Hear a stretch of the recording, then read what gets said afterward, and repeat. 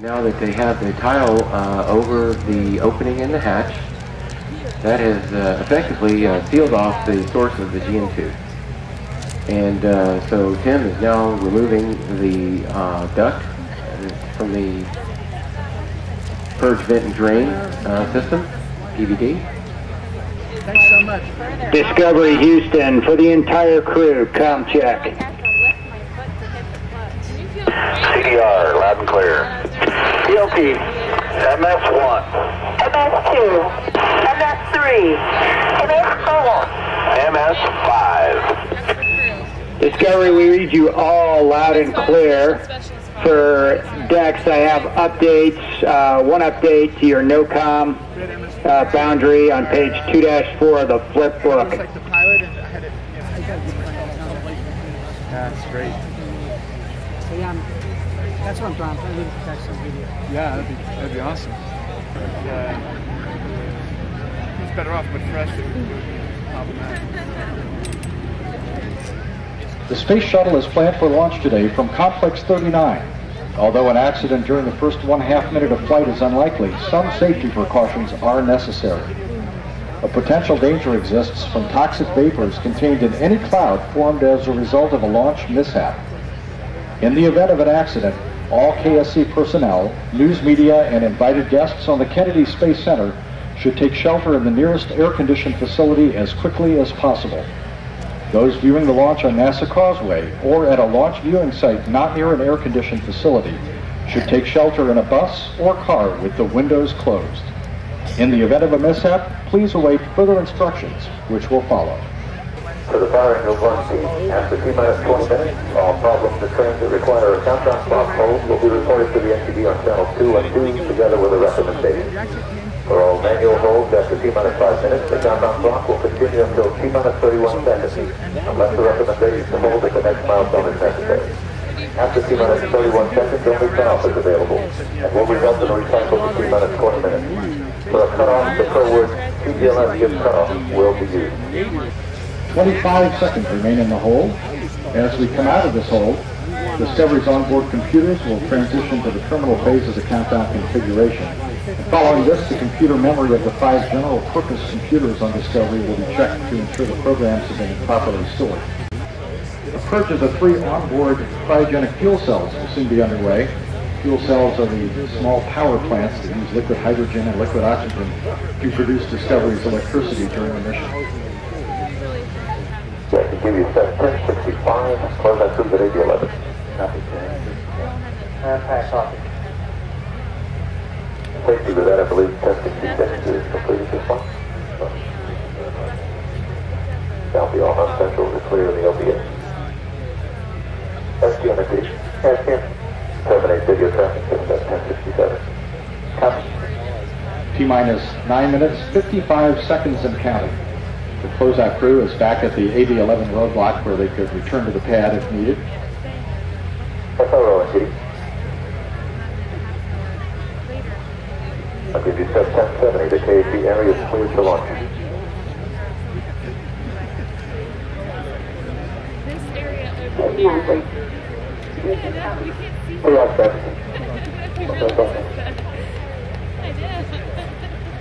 I did. NTD, do you give you set 1085, 220, double.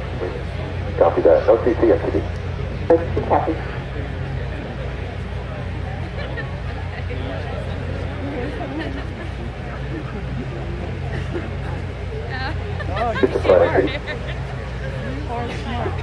This is shuttle launch control. T minus 9 minutes and holding.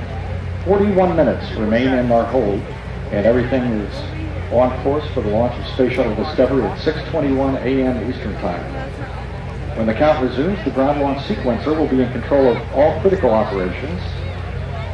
This master computer program will issue all of the commands necessary to perform the final critical tasks required to put the vehicle in the final launch configuration. The ground launch sequencer monitors about a thousand different critical orbital functions during the final nine minutes of the count to make certain they do not fall out of limits. All systems are go. Weather is green. No concerns at this point.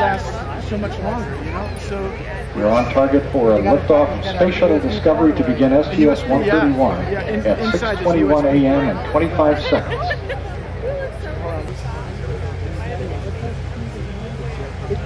It's like a 60, it's a, it's a 10, 10 manual and a 60.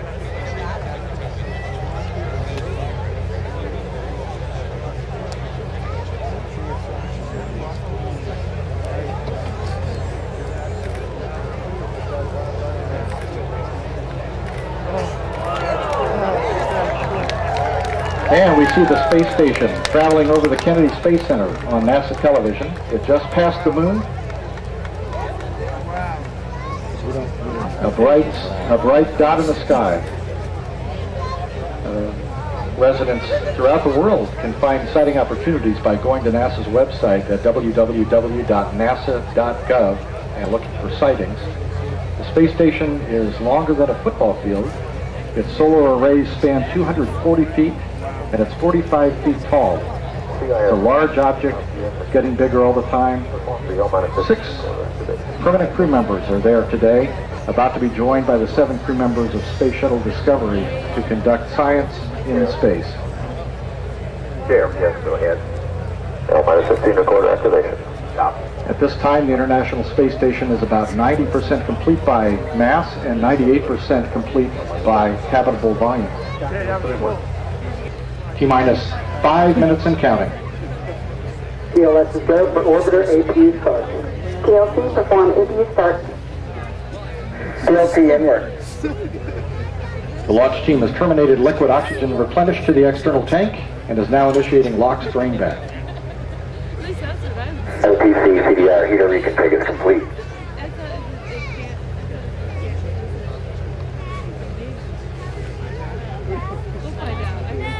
T minus four minutes and 30 seconds.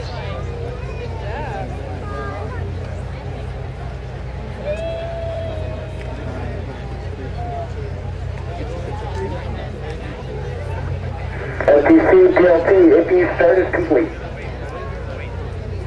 Copy. All three APUs are up and running.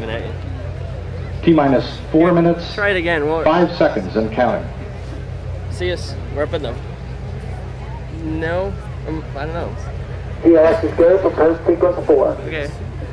All right. Well, see ya. The final helium purge of the three main engines is underway in preparation for main engine start.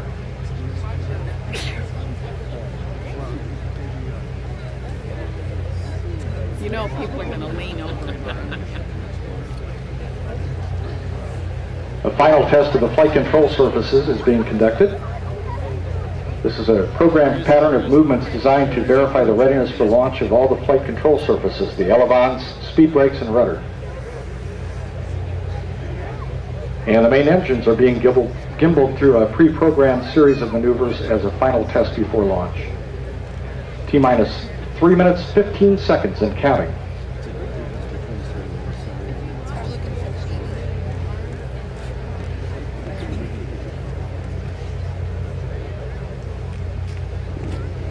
T minus 3 minutes and counting. Final pressurization of the external tank's liquid oxygen tank is underway. TLS is go for ET LO2 pressurization. and we are completing the purge of the shuttle's main engines.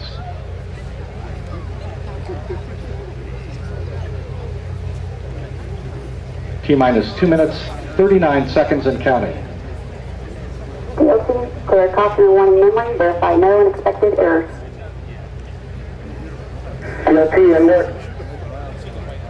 And the gaseous oxygen vent hood, or beanie cap, is being retracted away from the top of the external tank. T minus 2 minutes, 20 seconds and counting.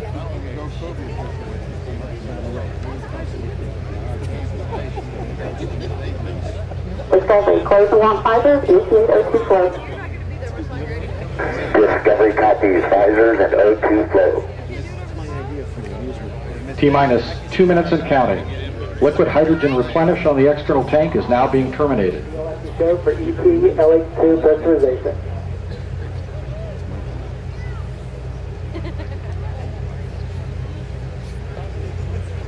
T minus 1 minute, 44 seconds and counting. All systems are go.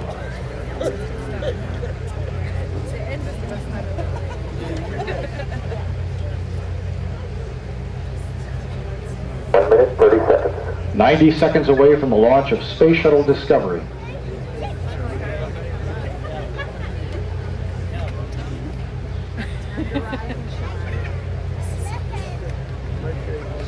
T minus 1 minute, 15 seconds and counting.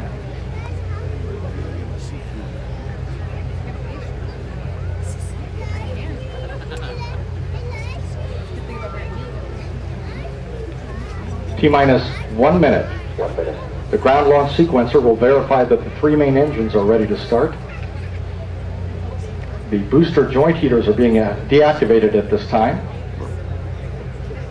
We're transferring to orbiter internal power. Discovery is now running off of its three onboard fuel cells. T minus 38 seconds and counting. Coming up on a go for auto sequence start. TLS is go for auto sequence start. T minus 25 seconds. Discovery's onboard computers have primary control of the vehicle's critical functions. 20 seconds. 15, T minus 15 seconds and the sound suppression water system has been activated. We have a go for main engine start. Three engines up and ready.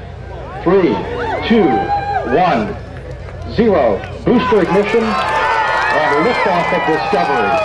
Blazing a trail to scientific discoveries aboard space station. Houston Discovery, roll program. On roll, Discovery.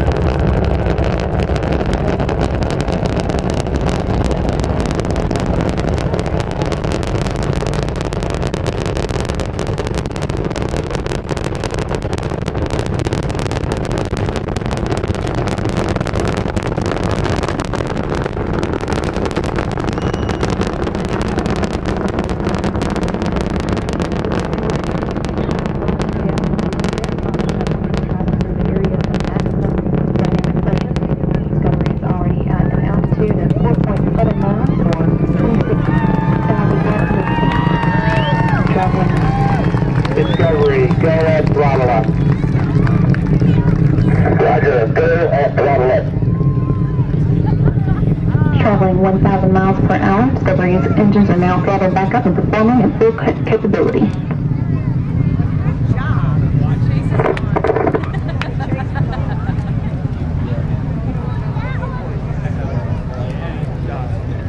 Yeah. I've lifted off the shuttle weighed more than four and a half million pounds, and now, uh, one minute and 27 seconds into the flight, the main engines and solid rocket boosters have reduced that weight by about half. Solid rocket, bo- rocket boosters alone are burning, burning 11,000 pounds of propellant per second, and external tank is now 3,000 pounds lighter than when it began. Discovery is now 21 miles away from its launch pad and uh, 22 miles in altitude, traveling 2,700 miles per hour. All three main engines are working just as expected. The three fuel cells are generating power, and the three auxiliary power units are all producing pressure. In short, everything is performing well. Two minutes and seven seconds into the STS-131 mission. All three confirmed. The booster officer in the Mission Control Center has confirmed solid rocket booster separation. All systems continuing to, continuing to function well.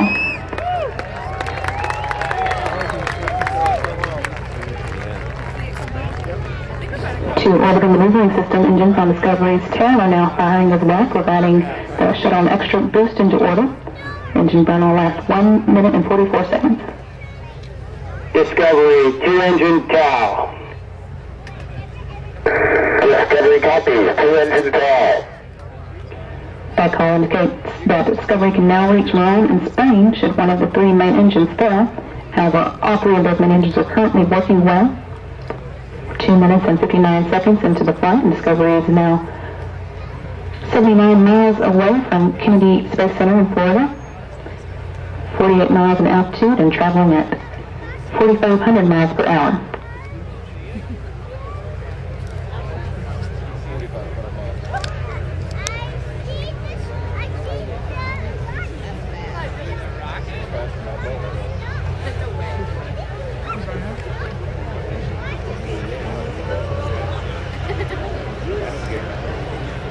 Digital Discovery also seeing the first of many sunrises of the STS 131 mission.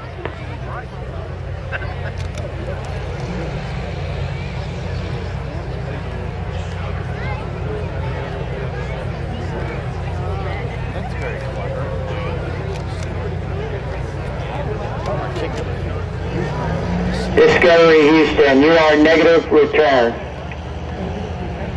Discovery copy, negative return. Discovery is now flying too high and too fast to return to the Kennedy Space Center in the event of an engine failure. That's not currently a problem, however, as all engines are continuing to perform as expected.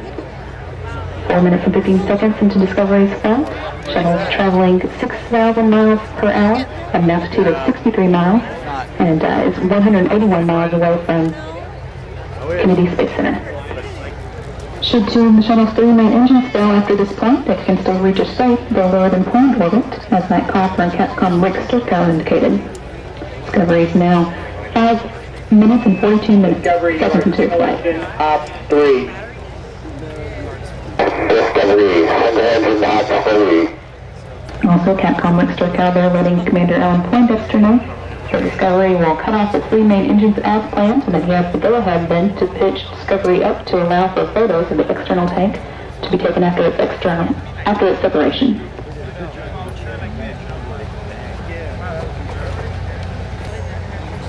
There's the external tank separation. 8 minutes and 53 seconds into the STS-130 mission. Discovery now safely in orbit.